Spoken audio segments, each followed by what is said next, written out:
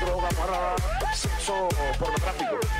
¿Qué pasó, mi gente? ¿Cómo están? ¿Cómo me les pa? Comencemos, comencemos como los días con la mejor mayor de la energía, pero como siempre, convencido, aferrado y fuertemente abrazado con mucha, mucha, mucha, mucha fuerza al sueño y a la esperanza de pronto regresar a nuestra gran Venezuela libre. Y que pronto sean solo malos recuerdos lo que hoy nos atormenta y cómo evitar invitar a suscribirte a este canal. Recuerda que es bueno, bonito y gratis. Total y absolutamente gratis, no debes pagar nada. Solo darle un botón por aquí debajo, error, y se suscríbete, luego activa la campanita, me regalas un like y si no hay mucha molestia, comparte con todos y todas tus amigas. Creo que no será ninguna molestia, supremamente agradecido. Vámonos con todo, vámonos fuerte, preparando la pierna, huesos, articulaciones y coyuntura, como te gusta, como se merecen, para dar duras, fuertes y contundentes patadas en asquerosos culos chaví. Porque las daremos, porque dolerán, dolerán, dolerán. Primer video de este video.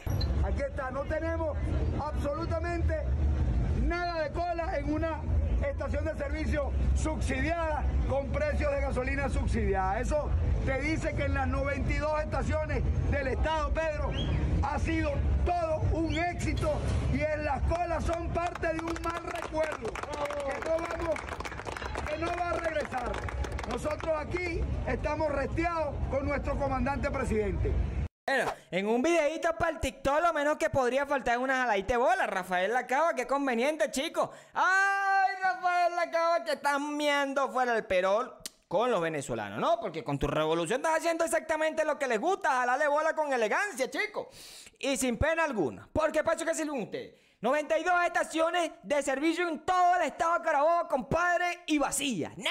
Huevo, nah, corra Venezuela entero para el estado de Carabobo a echar gasolina. Yo puse este video por el canal de Telegram e inmediatamente se volvió un culo el Telegram, compadre. Eso fue mensaje hasta de sí, hasta de todo Raquel y todo. No joda, eso es pura paja. Es, claro, claro, ey. Yo no puse el video porque creía que era una verdad. Yo puse el video porque es que esto da risa, porque es que esto es, esto es una payasada, esto es un insulto. Esto es como el video de ayer del supuesto profesor que dice que los profesores están reivindicados, que ganan bien, que se sienten bien, que Aristóbulo se los tiene, mira, sin vaselina.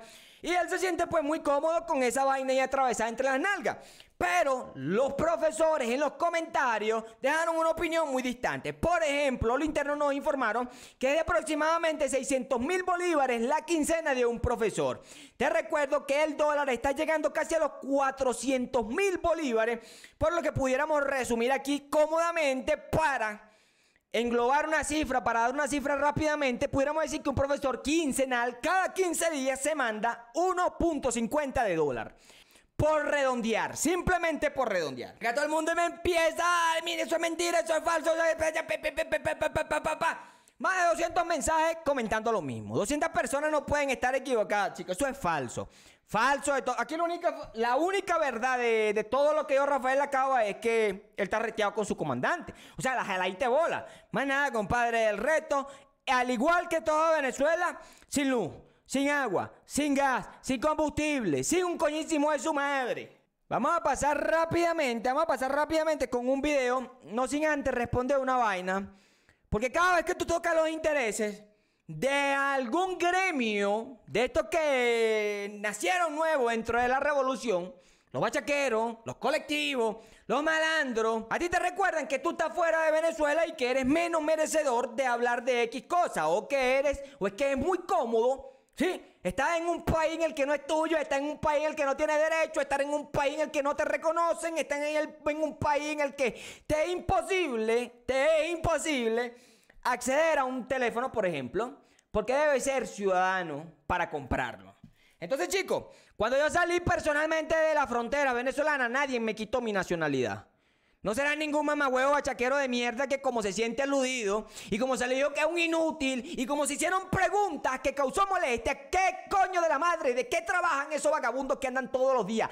Todos los putos días en la cola. Se las vuelvo a preguntar, no joda. Al que le duela el culo, que se eche vaselina, compadre, pa' mis cojones. Si la pregunta se me ocurre, la pregunta es la que hago. Son vagabundos, son mantenidos, les gusta. Tú no puedes jamás, jamás de los jamás comparar la gasolina de Venezuela con la de Colombia. Porque mientras que en Venezuela regalan, regalan la gasolina, aquí cuesta una bola de billete, ¿oíste? Y al igual que la gasolina, la luz, el gas, la electricidad, un coño falta. Pero en esta vaina se paga absolutamente todo. Y si usted no lo paga, se lo cortan para la mierda. Es muy diferente a Venezuela, que hay una cantidad de vagabundos que no pagan ningún servicio, que se arrechan cuando le suben el CanTV, que se arrechan cuando le suben el Digital, pero también se arrechan cuando le fallan los datos y no le entregan la gasolina. No les gusta trabajar, no les gusta protestar y no les gusta que se lo diga, pues no joda. En tanto salía de bello, pues.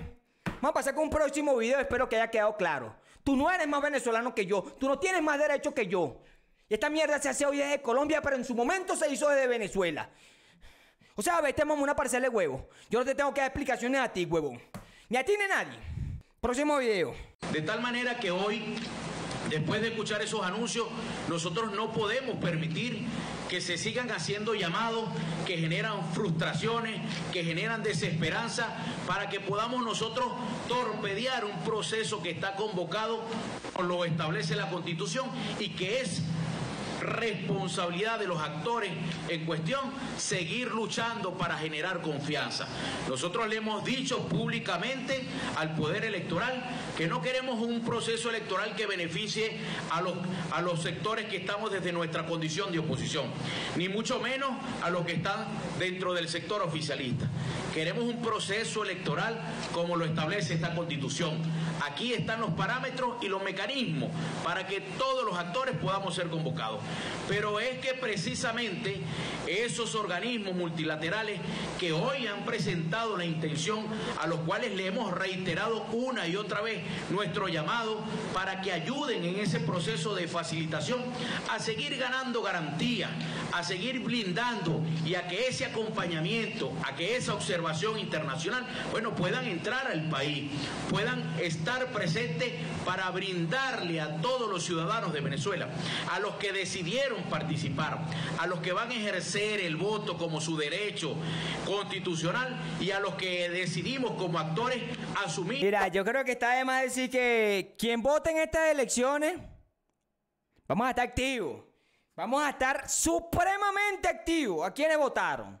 Y le vamos a putear la madre en todas las redes sociales. Lo vamos a, presentar como lambucio. Sí. El que va a votar va a ir por el pernil de diciembre que supuestamente le ofreció Nicolás Maduro. Les recuerdo que en las anteriores elecciones también le ofrecieron pernil y junto al CNE se montó una tramoya de estafa para no darle el pernil absolutamente a nadie. Entonces, chicos, eh, yo les invito a la abstención, clara y fuerte. Claramente a la abstención, porque ellos hablan de blindar. ¿Pero blindar qué? Blindar la seguridad. Blindar la seguridad para que los postulados candidatos del PSV, del Gran Polo Patriótico, de las porquerías de esta roja rojita, tengan una, con- una contundente, tengan una victoria indiscutible. ¿Y quién la va a discutir, chicos? ¿Quién la va a discutir? Capriles Radowski. ¿Cómo? ¿Con la olla? Luis Parra, ¿cómo? Traicionando, robándose una asamblea nacional. ¿Quién más pudiera debatir? Nada, compadre. Piden a la comunidad internacional que vayan a Venezuela. Yo no sé qué organización de la, de la comunidad internacional irá. Me imagino que ya estarán bien cobraditos los coñe madre para que, como siempre, se callen la boca, porque para eso es lo que sirven. Llenarse los bolsillos, se van para la mierda bien repleto y después salen odiando a Venezuela y a los venezolanos. Una cantidad de chulos que han vivido impresionantemente de Venezuela y que hoy no tienen un asco impresionante. Hay que ser caretabla. Chicos, vamos en un próximo video porque este no tiene nada que destacar. Esto es un pan con huevo, esto es un traidor, esto es un ladrón, esto es un delincuente, esto es un colaborador que no tiene ningún tipo de meritocracia más, más que la, la que ya hemos destacado. No son méritos, sino que son problemas de personalidad. Próximo video. Aquí estamos desde el jueves en esta mamarracola.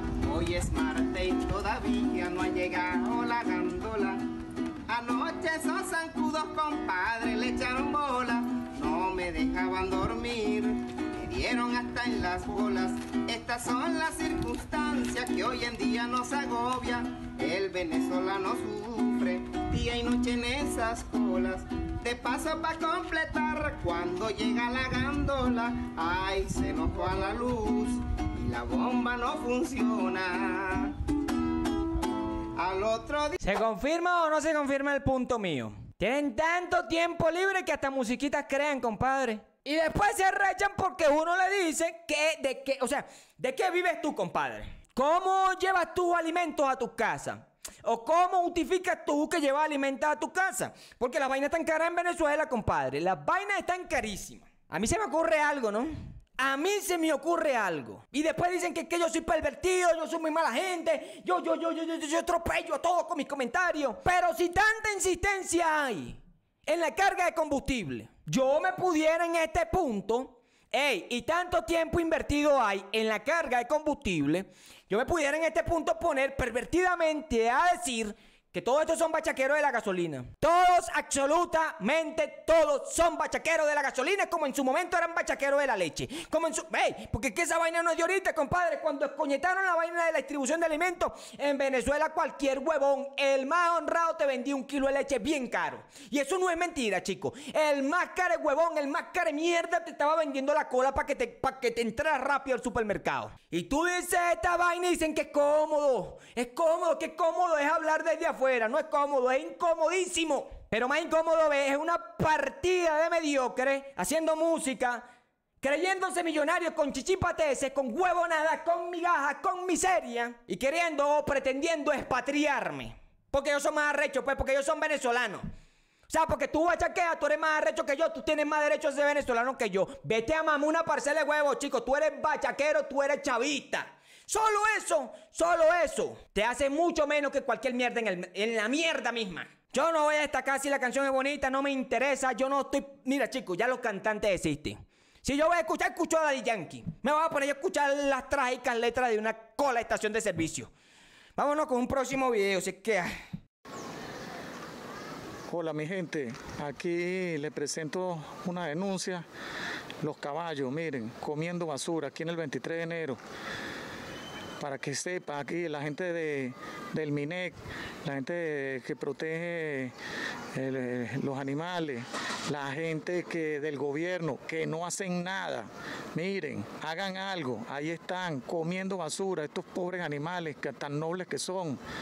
Claro, a ustedes no les importa, pero yo hago la denuncia igualito.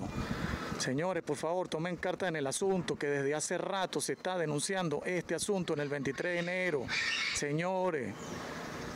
A mí sí me importa, claro que me interesa, me gustan los animales, me parece totalmente cierto que son muy nobles, que no merecen. Pero tú estás cometiendo un error, amigo que está haciendo la denuncia, y me estás citando me está citando el gobierno, ¿no? Está citando organismos del gobierno. Y yo lo he dicho fuertemente. Mira, quien me le pida que la conexión del agua la haga el ministro del agua de Maduro, pues yo descarto y estoy poniendo la denuncia por los caballitos. Por los caballitos única y exclusivamente. Porque ahí en el 23 de enero funcionan las principales cúpulas de corrupción del chavismo y de los colectivos. Que tanta la boca mierda se llenan diciendo que ellos son socialistas, eh, ecologistas y mariqueristas y le hacen la paz al caballo. Pero que ahí se ven realidades. 23 de enero, así como están los caballos, imagínate cómo está la gente comiéndose. No joda, chicos. El sudor del cuerpo para creer que están metiendo proteína al cuerpo salada. Es una vaina bien asquerosa. Pero yo voy a volver a insistir fuertemente con el tema. Cuando coloque una denuncia, no me reconozcan a Maduro, brother. No me reconozcan a Nicolás Maduro que no es legítimo. ¿Hasta cuándo lo vamos a decir, por Dios santísimo? No es legítimo un gobernador chavista. No es legítimo un alcalde chavista. No es legítimo los presidentes de las muchas fundaciones chavistas que existen. No son legítimos los ministros y muchísimo menos es legítima esta Asamblea Nacional Constituyente o la presidencia de Nicolás Maduro y mucho menos la asamblea que pretenden ellos robarse mediante un proceso electoral bastante bastante cuestionable. Vamos a ponernos serios, vamos a creernos el cuento, es una invitación que llevo rato largo haciendo, no reconocemos, no reconocemos, no podemos exigirle a quien no reconocemos. Porque con una exigencia estamos reconociendo. Y la, por acá no, por acá no se reconoce a esos huevones. Por acá no se reconoce esos huevones. En Venezuela hay un vacío de poder por el momento, pero no demos reconocimiento al régimen con pequeñas cositas. Digamos así. ¡Por eso! Acaba, chico, que con tu grande cagada, que con tu grande mentira, que con tu grande embuste, chico, que, con tu actitud chavista, ¿vale? Que con tu milagro del féretro del vampiresco Drácula la cagaste. La cagaste porque los carabobeños saben que eres puro camburipeo, que eres pura paja, que eres un embustero, que eres un demagogo, que te burlas de los venezolanos, especialmente de los carabobeños. Y acuérdate que no hay papel para que te limpie ese culo, chico. La cagaste, la cagaste y la cagaste porque eres tú. Nos vemos en un próximo video, mi gente. Hasta la próxima. ¡Madura, coño, a tu madre! Pa, pa, pa, pa, droga, para sexo pornográfico.